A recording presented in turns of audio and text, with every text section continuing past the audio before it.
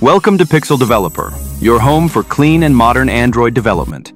In this video, we're diving into using Ktor in a Jetpack Compose project, along with MVVM architecture and HILT for dependency injection. Ktor is a powerful and lightweight HTTP client made for Kotlin, ideal for building scalable, coroutine-based network calls without relying on traditional Java-heavy libraries like Retrofit.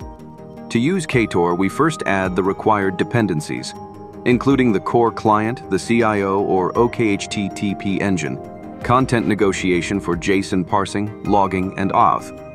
This gives us full control over how HTTP requests are made and handled. In our app, we created a network module class using HILT, where we provide a single instance of the HTTP client. Inside the client configuration, we added content negotiation using kotlinx.serialization, detailed request logging using Ktor's logging plugin, and a base URL setup via default request. We also added error handling using HTTP response validator to catch 4xx, 5xx, and network-related exceptions, ensuring your app can react gracefully. This setup keeps our code clean, modular, and testable. It's the perfect way to build reliable apps with modern Kotlin-first tools. Stick with Pixel Developer for the next steps where we'll build view models, repositories, and full screens using this architecture. Don't forget to like and subscribe. Let's keep learning Compose together.